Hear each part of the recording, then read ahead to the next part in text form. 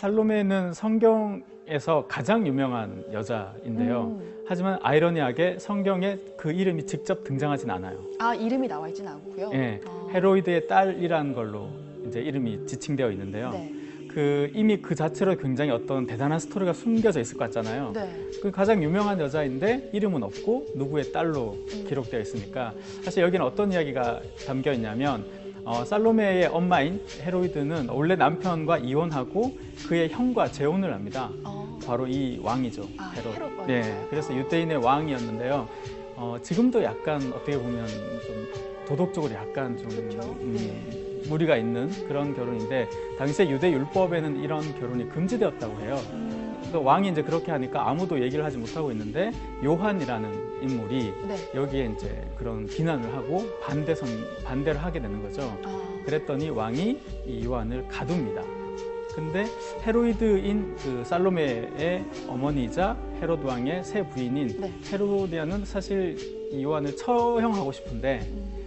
당시에 어떤 이제 믿음이 있었냐면 이 요한은 선지자 신이 보낸 선지자일 아, 것이다. 그래서 이 쉽게 이제 왕도 이 요한을 처벌하지 못했어요. 함부로 하지 못했군요. 네, 그래서 신화에서는 이 헤로디아가 이 살로메를 이용해서 요한을 죽이게 만든다 건데 아. 그런 문제가 남죠. 어떻게 이 어린 소녀가 이 요한을 죽일 것인가? 그렇죠. 근데 네. 여기에 약간 재미난 이야기가 있는데 이 헤롯 왕은 어, 자신의 의붓딸인 살로메에게 어, 약간의 어떤 연정이랄까요?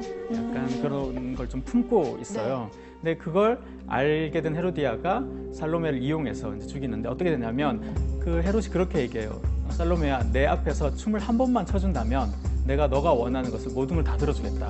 그 약속을 합니다.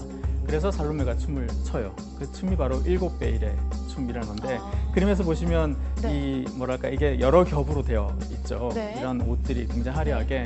그래서 지금은 정확하게 이제 어떤 옷을 입고 어떻게 춤을 췄는지 기록에 그림으로는 없는데 짐작컨대 이제 아마 요즘 말로 하면 약간 스트립 댄스라고 음. 할까요? 이렇게 춤을 추면서 하나씩 베일을 벗는 예, 네. 그런 그렇게 유혹하는 춤을 췄는데 이제 문제는 그 다음부터예요. 그래서 춤을 춰요.